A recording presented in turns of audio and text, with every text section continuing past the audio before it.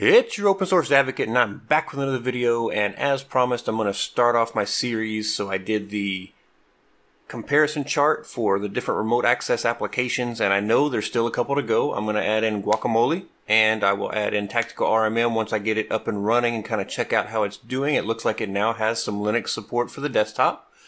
We'll kind of see what they've got to offer now. Tactical RMM is built on top of what we're going to cover today, which is Mesh Central. And I think Mesh Central is an absolutely terrific application. A lot of people say, well, it looks really old. And I say, so what? It is built on current standards. It is updated constantly. The guy who makes it is just absolutely terrific. If you ever go ask questions in the Mesh Central subreddit, he will he will generally be the one who answers you if somebody else doesn't. If you ask questions over on their GitHub, the same thing. So very communicative. He is very invested and he has his own videos out there on all of the things you can do with Mesh Central. So definitely go check out his videos as well. I will link them in the description and in the show notes so that you guys can see that. And speaking of the show notes, I'm going to follow my old show notes from, from before because I really think that everything that I've got as far as installing it and getting it set up is still completely valid today. So it, I run it in Docker and it runs beautifully. It is super easy to update it. It is super easy to keep it up and running this way and to back it up. So I really like this method. Plus I can reverse proxy it and really just kind of do any kind of things that I want to do very simply in my opinion now. If you don't know much about Docker or you don't know much about virtualization and containers, then there's a place to start. And I've got videos to help you get started with that. And there's a ton of other channels that have great videos to help you get started with that as well. But in a nutshell, Docker is just a way to virtualize an application. So instead of virtualizing the entire operating system like you normally would with a VM where you're installing a full Linux virtual machine, you're really just virtualizing the application and the containerization side of that equation is saying, hey, I'm keeping it separate from other applications. It's kind of walled off in a special way. So really you're just setting up this application and a mini virtual machine and this application is running in a very efficient way. So that's really what it's about. So there's a little bit to understand about that, but I've got great tutorials on how to install Docker and Docker Compose and Nginx Proxy Manager, and I even have a script that you can go and get and run it on most Linux operating systems and it will install all of those things in one script. So it's really nice. It makes it very easy. I try to keep it up to date. I try to add a few things here and there when I have time. So that should help as well. But today we're going to cover really the use cases for Mesh Central. I consider Mesh Central to be a remote management system, a remote machine management system, an RMM, if you would. I would see you using this if you're running an MSP, a managed service provider uh, kind of system. Maybe you're an IT administrator at a large business or, or a medium sized business or even a small business. And you're like, you know what? I just need to be able to reach your machines and do things on them when you're not using them so that I can keep them up to date, so that I can make sure everything's running correctly, so that I can make additions to security if I need to. It's really that type of system and it is absolutely great. Now, it can be used as a remote support tool, and I'll kind of go through how you do that as well. It's not the best tool for that job, in my opinion, unless it's kind of under certain circumstances, but again, it can be used for that as well. You'll see some of the machines kind of blinking off and on. Sometimes the agent kind of goes away and then it'll pop back up and say, oh, hey, here I am. I don't know if that's just because of the way that I have things set up or if it's normal, but it does do that, but I still am able to get access to a lot of these machines and do a lot of things. And you can see I've got them kind of separated into these groups. So we'll go through all of this setup in the video and I hope that you'll enjoy it. I hope you'll get a lot out of it and I hope that I inspire you to go out and try Mesh Central because it's a really, really great tool. We're going to do that right after this. I want to say thank you to all of my subscribers and all of my patrons over at Patreon. Seriously, you guys make this so worth it for me to do these videos every week. I really truly enjoy it and I just can't say thank you enough. If you're enjoying these videos, subscribe. Let YouTube know that I'm doing a good job by subscribing to the channel. Plus, you'll get notified when I have new videos coming out. And finally, if you're enjoying what I'm doing, give it a like. Just click on that thumbs up and that way YouTube knows that you like it and they'll pass it along to other people that might enjoy my content as well. I really appreciate it. Thank you again. Let's get started. Okay, when we talk about Mesh Central, one of the first things to know is it's a system where you do have to log in. So I have a user with a login and I have set up two-factor authentication, which is very important. And it prompts you up here in the top corner if you haven't set that up because they know how important that is, is as well. But I use TOTP and I use that through Vault Warden or Bitwarden. Um, I love that application. It's amazing. You can always see it up here in my in my toolbar when I'm on on my browser because it just really makes it so easy to keep track of really strong passwords that are different for every site, plus my two-factor authentication codes for every site, and it syncs up with my phone. It syncs up with other browsers. Just when I log into Bitwarden, I get everything across the board. So it's a really great tool, and I have have videos on Bitwarden and VaultWarden out there. I highly recommend you go check that out if you're not using that as your password manager yet either.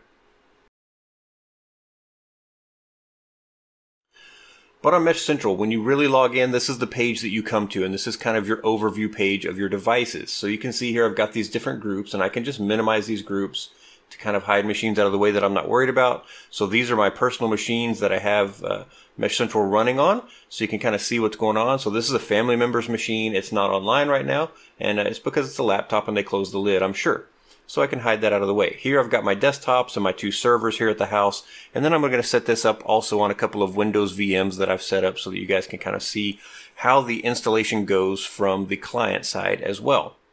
So you'll see these kind of turn off and on as they check in and out, but really this is kind of your, your starting point, and you have some really great tools up here. So you've got this filter, so I can say I just want to see main and look at that. So if I know the machine name, I can very quickly kind of go find that machine. It's not hard to do. If you go down, I believe you can filter, yes, to online. So you only see the online machines. So as they go offline, they'll disappear. As they come back on, they'll appear. You can say, I only want to see the offline machines, which I don't have any currently offline, but as they tinker on and off, they will. So I can go back to online. You've got some really great filters. So you can look at sessions. So right now I don't have any sessions going, which I don't see that. But if you did have people in sessions, so you can put in multiple users, they can log in, you can assign them access to specific groups or specific machines so they can't have access to everything. But in those sessions, you could then see who has sessions going. If you start it, made it a favorite, it would show up under this, of course. And then if you have Intel AMT set up, which is really a Windows thing with Intel, with Intel based um, drivers, then you would see those under this section and really um, help so again, uh, somebody wanting help, I think, is, is the idea there. Uh, tagged and then of course untagged. And again none of my systems are tagged so you wouldn't see those those things tagged. But we can go back to all. We can see all the systems at once. It's kind of up to you how you filter that down but it does make it really nice to see that very quickly. So if you want to go by OS name we can kind of see what's going on. So here you see that this is the entire name for the system versus just, if I undo that, it's just kind of the, the name of the machine and, and it's not the full qualified domain name. So before we get into just really looking at what we can do on the systems, there are some filters over here on the upper right. So you can kind of change the layout so you can make this a little bit more minimal. You can see some details out to the right. It's a little bit more just kind of rows. And then you can change it again. And you can kind of see screens from when you were previously connected. So right now it says disconnected because I'm not connected to anything. But if let's go in and let's uh, actually let's click in and we'll connect to the desktop. And there's the background that I've got today, pretty interesting looking. And then we'll just jump back to, to the general or to the view tab and you can see this is what it looks like because it's still connected right now. So this is a machine that I'm act actually recording on, so I, I, can't really just connect to it. But you can see what this looks like whenever we're in this mode, so there you go. Um, and then finally we've got this view, which is very similar. It just kind of compacts it down a little bit. You can see it's a little bit more expanded. We can go back to this view and of course back to the main view. And here you can see whether or not it's it's it's on or, or off. It says well, it's the agent and it's powered right now. So we'll go back and we're going to go back here so just an overview down the left side. And as we look, we've got kind of account settings and, and settings for the system. So really my account settings, you can see here, I've got it set up for the Authenticator app and I've got my backup keys uh, ready. So everything's set there that I need. You've got your localization settings, so you can go in and tell it, you know, where are you and where should it be, and it just, I use the browser default, that works fine notification settings. So if you want to receive notifications about certain events happening, you can set up whether the notification has sound. You can say display device group name, device connections, device disconnection. So you saw that mine kind of click on and off. So I'd get a lot of notifications from that. So that's why I don't turn those on. And then AM, uh, Intel AMT desktop uh, and serial events. So you could also detect those things and get notifications about them. It's up to you if you want to turn those on or off. If they're useful to you, you might want to turn them on. So I could change my email address, change my password, um, delete my account completely, or you know, clear uh, create a login uh, token. So I can do all these things from here, kind of on this tab, and then down here you can see the machines that I have access to. Um, this is the groups that I have access to, and I can create new device groups from here as well. You can also do it from the other screen uh, here at, the, at these different levels. So you can do a lot of things here from this main screen. You got a lot of actions that you can take. As we go down, you can see events that are happening and you can see a, a, log of those events that are going on. So this is a really nice screen for making sure that nobody's doing anything kind of weird or something's not really kind of going wrong. As you go down, you get into the files section. So from here, I could upload files from my machine and make those available to sessions when I'm on other machines. So here I would put like, I want to make these available. And then when I'm up here inside of these different machines, you see there's a files tab. So from here, I could say I need to upload some of those files or I need to download files from that machine. And that tells it kind of where I want to put those things. So you're kind of first making things, of making files available and then from the actual machine itself, you can go to the files section and say, I want to move files around and things like that. So pretty useful for you to make files available to your users as well so that you can do those transfers very quickly. Here, of course, is the users section. You can create new users and again, give them permissions to different groups, different machines, all those kind of things, so that you can have multiple users within your organization and you're kind of the system admin. Finally, you can see some basic information about your server here, just different things that are going on for your server that's running Mesh Central. You can look at any kind of stats and you get some graphs and charts here. You can check the console, so if there's any kind of console logs, you can go and look at that, see what's going on. And then you can do some tracing, so if you do like uh, trace, and you can kind of choose what do you want to trace. You can look for the cookie encoder, the message dispatcher, main server messages, Mesh Central server uh, peering. So all kinds of really cool things that you can do here from, from the console as well and kind of get those console messages. Just information for you to kind of check out. So this, this bottom one is really all of your server detail. Pretty useful. It's very useful to know that everything here, so you can sort this by group, so you can sort it in different ways as well. Just be aware of that. But when I go into the actual machine itself, I've got a lot of capabilities. So this one has a desktop, so it gets the desktop tab. But Mesh Central is smart, so it knows this, this machine doesn't even have a desktop, so it doesn't even show me the desktop tab. I really can only go to the terminal and do things through the terminal, so that's what it gives me. And it creates an, a terminal emulator inside of the browser here for me, and I can actually do the actual things that I would want to do. So I can say apt update, and it's going to run through the apt update process just like it always should and it's going to tell me, hey, there's some upgrades available. So I could run those upgrades from here, and I'm really just kind of remoted into a terminal session. It's almost like doing SSH without having to click and, and type in SSH and have SSH keys there. The agent allows me to have this connection. So I can do apt, uh, uh let's see, dist, let's see, dist upgrade dash y is what I prefer to do whenever it's a Proxmox. That's probably what we're supposed to do. So it's going to run through the upgrade process. I can disconnect. Uh, I believe this is still going to run, but it might be good to keep it connected just in case. While that's running, there's a few things to notice down here. Down here, we've got the Control C button, so this would actually send the Control C command over to the machine. You've got the Control X as well, and then the Escape. So you can click these to send that over to the machine instead of trying to use the hotkeys. Over here, you have Control and all of these different keys, so you can kind of just say, oh, I need to send this one, and, and click and highlight to get to that. And then, of course, once you've selected the one that you want to send, you would click on the send button and that would send that control key over to the machine. So if I was to click on control C right now, it would stop this process. Of course, I don't want to do that. I'd rather let it finish up. It looks like it's setting up a new kernel for me on the server, which is never a bad thing. So once that's done, of course, I'll want to reboot that server. Now, that server takes a little while to reboot because it's a Proxmox server. It's actually a, a literal Dell server, so it's, it's not a fast reboot process. Uh, and it's pretty loud, so I'm not going to do that yet, but I'll know to go do that after the video's done. So I can just disconnect now from that terminal session and I'm, I'm done.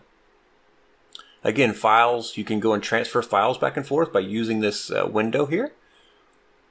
We can see the events that have been happening on this particular server. We can see some details about the server and if you're somebody who's in charge of managing different machines and devices or if you're taking control to manage somebody else's devices as an MSP, then a lot of times this kind of detail is very useful. For a lot of people, it's, it's not. You can just log into the machine and see the information. But if you're not there physically, sometimes checking this stuff is really useful for troubleshooting, trying to figure out like what's going on. Why, why am I suddenly not, you know, seeing what I expect with this machine or this server or this device?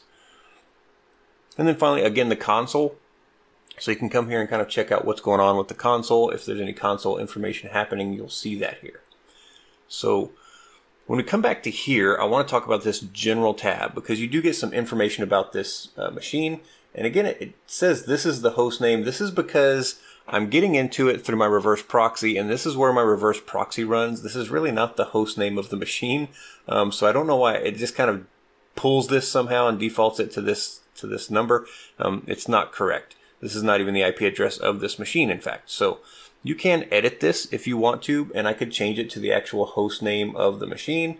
Um, I don't know why the OS name uh, is, is different there, but we could actually change this to the OS to the host name and save it. And there you go. We can put in a description for it as well um, if we want to give it a description. So this is my Proxmox main server just like that. And then we cannot click this, as you know, as you notice, there's no no option to, to change that. Um, the group that it's in, we could change if we want to, but this is my home server, so that's a good group for it. It tells us that it's Linux 64-bit, it's Debian GNU Linux 11, which it is, that's correct.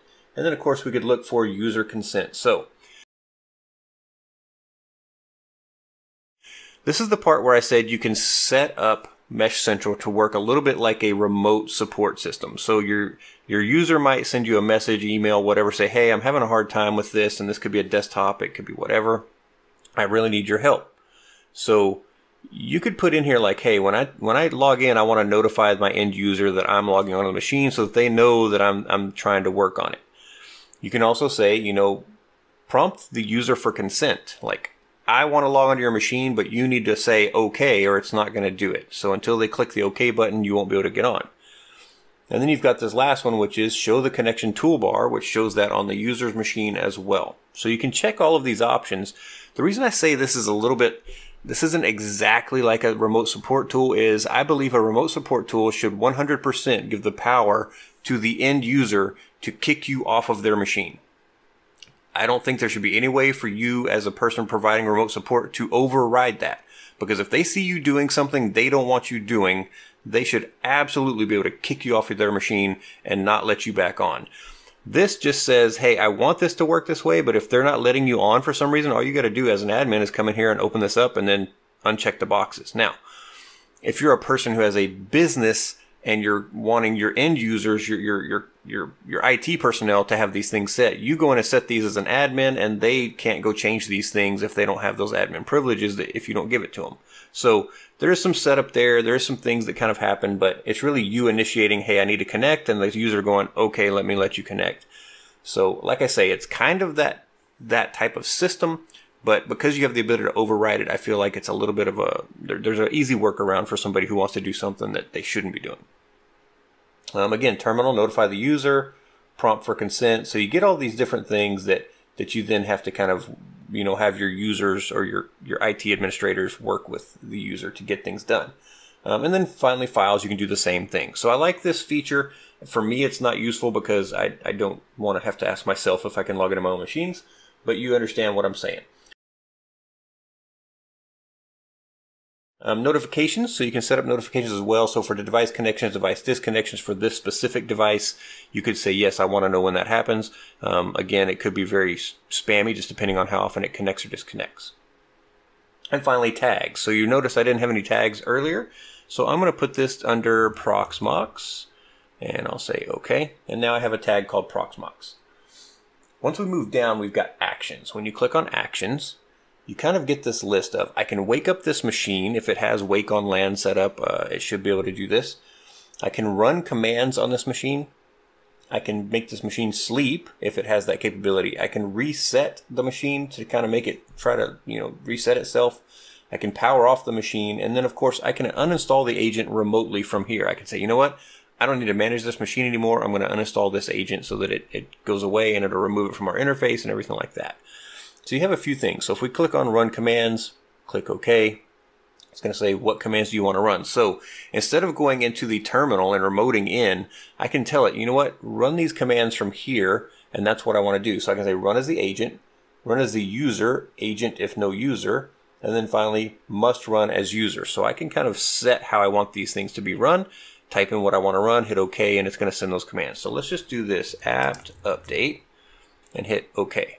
Yeah, so it's trying to run it. I don't know if it's going to refresh for us or not, but so it's giving us a little bit of feedback that it is trying to run that command. Um, takes just a minute for it to run. There we go. Now we're getting some things to kind of finish out and you can see it's building out kind of what it did. So you can see that in the console whenever you do that, but you're running the command remotely. It's, it's, it runs, it's sent it, it's doing it. It's not something where I have to stay looking at this logged in terminal. I can run it from here. So really great that, I, that you have that capability. Um, if we go back to actions again, again, you see all of these actions that we've got. So a lot of things that you can do from this control panel without ever even looking at the screen of the, of the machine. You can add notes about the machine. So maybe you want to say, um, make sure not to shut down this machine for reboots during normal hours of business operation. Maybe this is this is a production machine, you don't want it to be shut down. So now I've said this note. If I if I come in as a as another administrator and click on this, I'll see this note and then I'll know, okay, I don't want to shut this thing down. So you've got logging events, so you can log different events that you're doing or things that are happening. Run, so again, you have kind of some options here, and we want the command shell to be Linux BSD uh, run as user agent, uh, you know, so you can say run as agent and then command. So this kind of has the same thing as the actions and commands. We just got to it from a different way. We've got message. So display a message box in the remote system. So I want to send a message to the user that says, hey, this machine is going to be shut down in, for a few minutes. Uh, and you know we're going to reboot it for updates or something like that. You could send that message, or hey, server's going down in a few minutes. You'll probably get disconnected from it. Who knows, right? Whatever you want to send, you can do that from here, which is pretty great. Now this is to one one device. This is not to all the devices. You can chat with the end user and you see it opens up a chat window so I can go and type in chat information and then send that to them and they'll they'll see that chat information. So you get a ton of capabilities from right here in this terminal. Now as we go down we can look at interfaces. So we can see different in interface information, what's going on with the machine. So again the 17 is not a correct information. Um, it's pulling that from the proxy. So you do web VNC. It's going to try to connect but it can't I'm pretty sure yeah, so it doesn't have any way to connect because I don't have a VNC server running on this machine. Uh, user authorizations, again, so I could add users who are allowed to do things with this machine or remove users who I don't want to do things with this machine. So tons and tons of capabilities inside of this system. We've talked about the terminal, files, everything like that. So that's a that's a system without a desktop. So before I continue, I'm going to go and show you how to add Mesh Central to another machine, to a remote machine.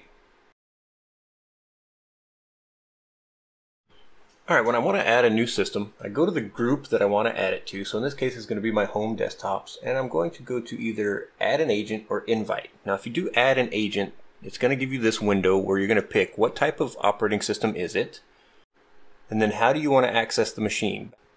Background and interactive, background only, or interactive only. So it's kind of up to you how you do that. But depending on what you pick, when you click here, you'll download those files. Now in this case, I'm going to do this through the invite. So I'm going to say invite and I'm going to say one hour um, is how long this in invitation is good for. And then all available agents. So just depends. Now, if I know I'm sending somebody that's a, that's a Windows machine, I can just say I'm going to send it to Windows. And then background interactive, background only, or interactive only. So um, we can kind of set it either way, but let's just do interactive only and see what that does. And then here's the invitation link. So I'm just going to copy that link I'm going to click OK, and I'm going to go to my email, and I'll just put in my current email address. I'm sending it to myself. And mesh central invite for help. And here's the email. And here's the link. So I'm going to click. So I'm inside of a Windows 11 virtual machine right now. So when I click on that, it kind of tells me, okay, remote mesh agent install for home desktops. And it says download the software here. So here's the, the link. So I'll zoom this up a little bit, make it a little easier to see. And it's kind of telling you here's what you need to do. So click install, allow remote control for a limited time. So kind of easy. So this is where you kind of get into, this could be a support tool. You want to make sure you're on 64-bit. If it's a 64-bit machine, if it's 32-bit, make sure they, they change to that tab. So again, you might have to walk your user through a little bit of this, but we're going to click on that. We see that it downloaded already. We're just going to click. And here comes the installer and it says Windows protected your PC. If they click on that more info, they get this thing that says run anyway. So they told us what to do. We're going to say connect. We're going to say yes. It's going to open this up. It's going to run a little bit of stuff there. So now let's go back to our Mesh Central. And here we see our new Windows 11 VM. So I can click on this and I can say desktop connect. And it says active RDP isn't because I'm using RDP to get to it right now. Um, so what I want to do. So I want to click on it and say, yes, I want to see that active RDP session. And now I'm inside of my Windows 11 machine and I can go full screen just like I did. And I've got control over the machine just like that. So I'm going to escape out of this. I'm going to switch back to my RDP session here. You can see that I can still see the screen. So it didn't kick me out. It just joined the Mesh Central user into it. I can take this and move it back as the user.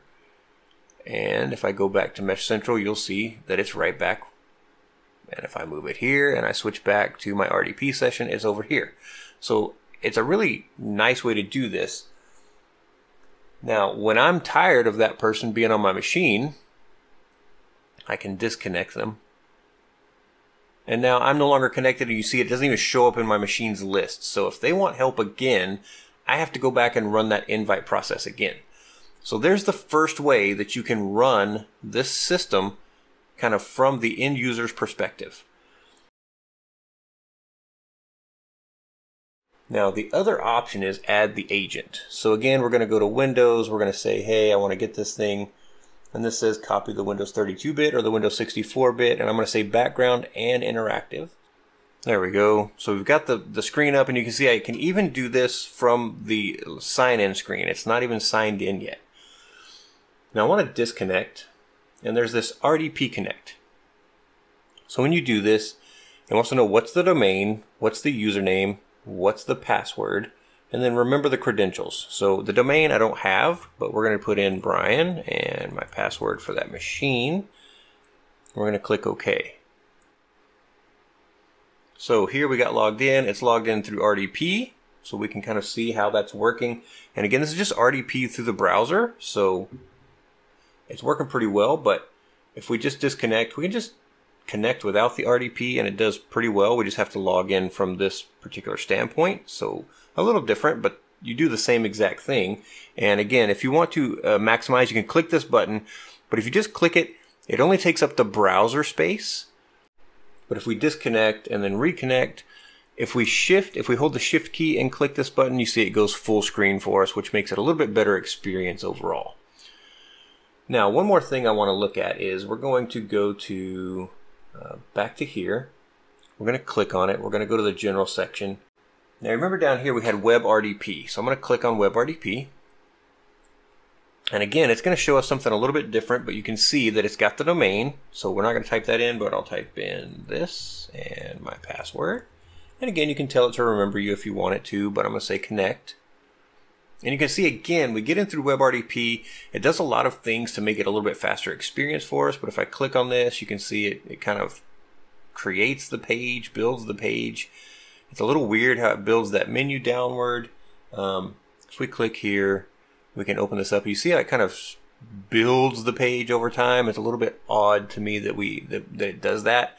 But there's your WebRDP if you want to see that kind of setup as well. So we can just go here and close that to disconnect from it. And if we go back, so if we look at that versus this kind of setup, let's just do this. Let's log in. And now if we look, look at how much faster that is and it even kind of builds upwards like it's supposed to. So for me, this is a much speedier connection than the WebRDP, uh, just personally. Again, if I if I click here, it looks more like it comes out of the screen towards us and we can drag it around. There's still going to be lag. I mean, it's it's a remote session. It's not meant for playing games. It's meant for supporting the, the actual device itself. But there you go, some pretty great tools. And if we look along the bottom, we've got send control alt delete. And then of course, once you've selected what things you want, you've got all of these different kind of things that you want to send. So we can say win, send, and that opens up the Windows menu. So you can see it sends the hotkeys for you. You've got escape. You've got clipboard options so you can actually add things to the clipboard and pass them over from your main machine to the machine that you're working on. So if you have some kind of block where you want to type in a bunch of stuff and then hit, then send it over to wherever you're trying to fill it in, this is the thing to use. It's called type. It opens up this box and I type in all of these things. So I'm going to just type in Internet Explorer. Why would you do that? But hey, why not? Um, and if I spell it correctly, it'll even help more. And I'm going to say OK. So it sends it over to the field on the background. Of course, I can just type and send it to the field, but there's a different way to do it. If for some reason you can't seem to get input into a place on the on the screen, you can always try the type box and see if that works. We can just get rid of that thing. Over here in the bottom right, you've got these really nice tools. So if we click on tools, look at all of these things that we have. Here you can see all the services that are actually running on the system. So pretty great information that you can get out of the system here. You can also share this device with a guest. So if you're connected and you want somebody else to jump on and help you, you've got that option with the share icon here in the bottom right. So if you feel like the desktop is frozen, if for some reason things didn't seem like they were updating, you can always click on this button to refresh the desktop as well. You can download the remote clipboard contents. Uh, so if you wanted to see kind of what's on the remote clipboard or kind of try it on your own machine locally, you can download it through this. You can record the remote desktop, so you can record this session and kind of see, because a lot of times when you're doing troubleshooting, especially for software developers, they want to see what's happening. So being able to connect and then remote in and, and record that session and provide that to them is super useful. It's a really, really great tool. So a lot of really great tools just around the border of the screen here. I mean, MeshCentral is a powerful, powerful tool. It's an amazing tool for keeping things up to date and doing the things you need to do. One of the things that I do most often is just go in and say updates, especially on Windows. And I'm really looking for Windows update settings. I want to do like check for updates. There's usually an option for that, but I don't see it here. But that's fine. We can go and we can say, let's go to settings. I'm sure they have updates in here somewhere. Yeah, so right here we can say check for updates, and you can see right here there's a cumulative update for Windows 11 version that, and it's like download and install. I click that. I can disconnect from this thing now and go do my business while Windows runs its update. You know, some of their updates are fast, but some of them take like 45 minutes for some reason. So you've got a lot of really great options for things that you can do here. I'm just going to close that. I've already kicked it off. I can disconnect and I'm back to here. Now, if you want the terminal, you can still do the terminal for Windows as well. So dir, there we go. So you can run all the things you, you normally would just like we did before. And then you can disconnect files, everything just like from the other system. Just amazing that we can even do these things, but it's really great. Oh, there's our command where we ran the dir from the remote console a while ago. So you get all of this information through MeshCentral and you get this really great ability to kind of group these machines, give access to other users, and really just provide them with all of the tools that they need in order to do their jobs. So I, I, love MeshCentral. I think it's a terrific tool. I think it's great, great things going on with it. And I'm always excited to see all the updates that they're coming out with. Now I'm sure you want to know, okay, how do I install this and get it running? Because if you're excited about it like me, you want to know how do I run this myself? It's great to watch somebody else do something and see how it works, but I'm hoping that I've intrigued you and, and we're ready to kind of go run this thing. So I'm going to follow my instructions that are out here already on the site. And it's just the same ones that I've used in the past, but really we're going to install Docker CE, Docker Compose, and Nginx Proxy Manager, which I already have installed, but I have a tutorial on how to do that. We're going to install MeshCentral. And we're basically going to use Docker Compose, and here's the file. There's just a few little things that you need to know, and I try to walk you through it step by step so that you know exactly how to get this set up. Because it's really great to run it locally just for your own machines around your house, but it's awesome to be able to run it with the internet exposed and people being able to, or you being able to access other people's stuff and their agents being able to check into your server so that you can get that set up. Alright, I've got a fresh system set up here. This is a Ubuntu 2204 system. Now, if you already have Docker CE and Docker Compose installed and you don't need to do this part, feel free to skip ahead in the video. I'll have timestamp down in the description. Out her on GitLab, I've got this project, and I'll have a link in the description, and in the show notes I have exactly how to go get this file. But I've got this thing called Docker installs. You go down to this one that has the sh, the bash uh, shell script here, and you jump over to raw, and you can just highlight and copy this uh, URL right here. We'll go back to our terminal, and I'm to do wget, and I'm just going to paste in that URL. It's going to go grab that script, and if we do an ls, we can see that script now. So if we do chmod plus x, and then the name of that script. We're just going to change that to an executable. So by default, the script is not executable and we want it to be executable so we can run it. So now we're going to run it. We're going to do dot slash. This means run this thing that's in this current place. And we're just going to start typing and hit tab. That'll finish it out for us. And we're going to let it run. So I try to go grab some information about your system, kind of check it, see if you feel like it's correct. If you think so, then that tells you kind of where to click on or which number to put in down here. So you've got your CentOS and Fedoras on number one, you've got your Debians on number two, you've got Ubuntu 1804 on number three, and then you've got several other Ubuntu's up here for number four. You've got Arch for five, six is OpenSUSE, and if you just want to exit the installer, press seven. So I'm on Ubuntu 2004 in this case. I'm going to hit four. It's going to ask me for my super user password, so you should not be doing this as root. You should be doing this as, as a user who has sudo privileges. And it's going to ask, do you want to install Docker CE? So I'm going to put Y. Yes, I do. And Docker Compose. Again, I'm going to answer with a Y for yes.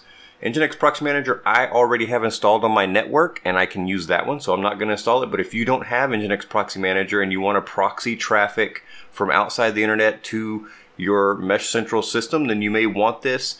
I have videos on how to set this up and how to do it out there, but I'm going to say no. Uh, and the Navidrome I don't need, and uh, don't need Portainer in my case. If you haven't used Portainer and you'd like it, go ahead and hit Y, that's fine. So once I hit those, it's going to go out and it's going to try to upgrade the system or update the system. Now I ran the updates already just to make this a little bit faster. So you'll see then it jumps up and it's going to do a prerequisite installation for those packages that we need that are prereq. So I just tell you as, as I go along, I kind of hide all the text in the background so it's just not scrolling up your screen faster than you can read it. It's now going to install Docker CE, the Community Edition, and when it finishes installing that, it'll tell us what version that is.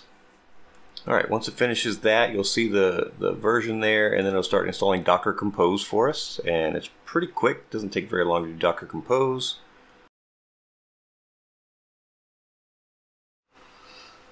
All right, now that we've got Docker and Docker Compose installed, we want to create our folder structure. So we're going to do make directory dash p docker slash mesh central. And what this command does is it says make the directory docker and then inside of that make the directory mesh central. But if this directory exists, it tells it don't make it, just go ahead and create this one inside of it.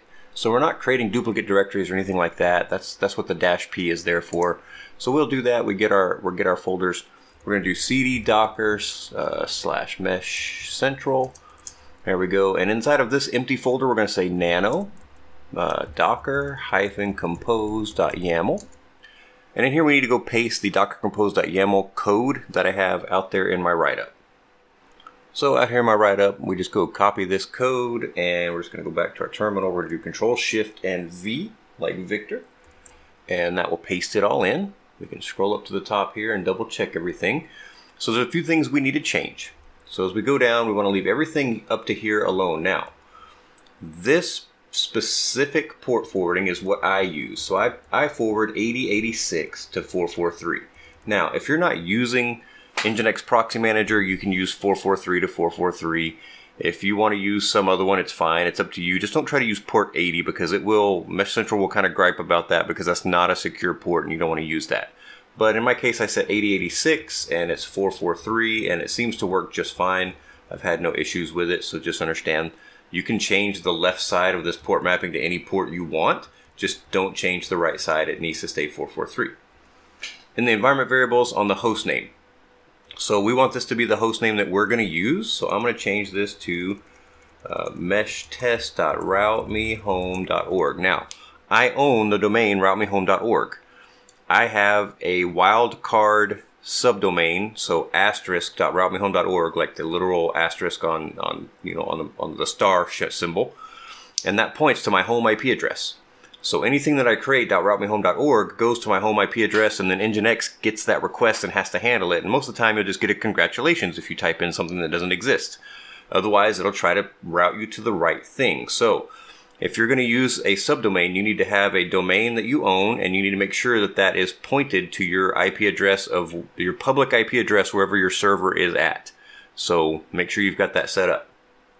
The next thing is if you're behind a reverse proxy, which you should be, um, you're going to set this up. So I, I, need to change this to the correct information.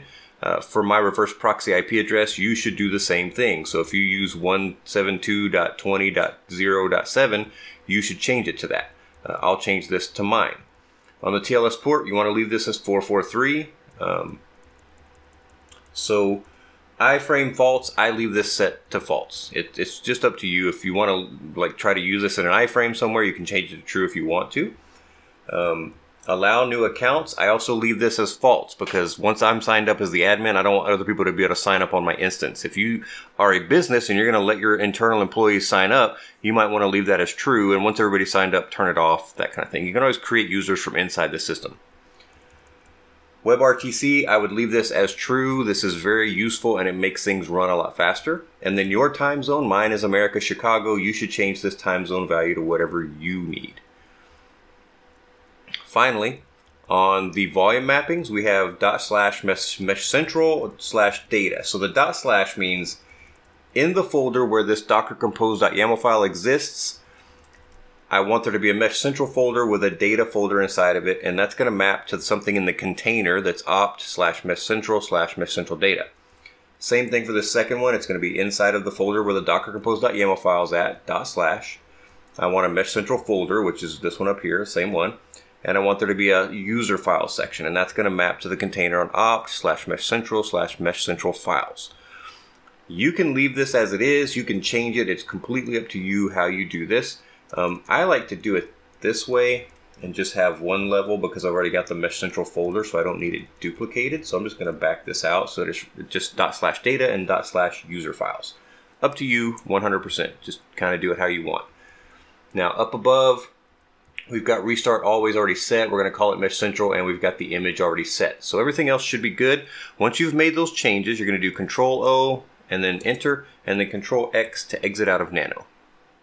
All that's really left is for us to run this. So we're going to do docker hyphen compose up dash D and then two ampersands docker hyphen compose logs dash F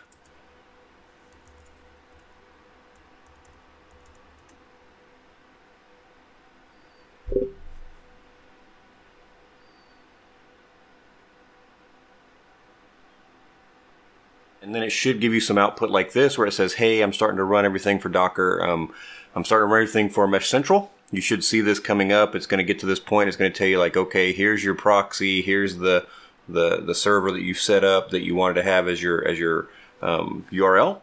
So once you've got that, we're going to go over to uh, Nginx Proxy Manager and make sure that that is set. So if you don't have Nginx Proxy Manager, if you use a different proxy, that's fine but I use Nginx Proxy Manager, and what this does is it lets me set up reverse proxies into my network so that it really handles all the network traffic requests that I get. So I'm going to zoom this up. So once we get in here, we're going to hit Add. So we're going to add a new proxy, and we're going to do mesh test.routemehome.org. Make sure you type in your name correctly. Make sure everything's correct, and then hit Tab or hit Enter so you get this little chip. You see how it's kind of got a gray background there. We're going to switch this scheme, the schema here, we're going to switch to HTTPS.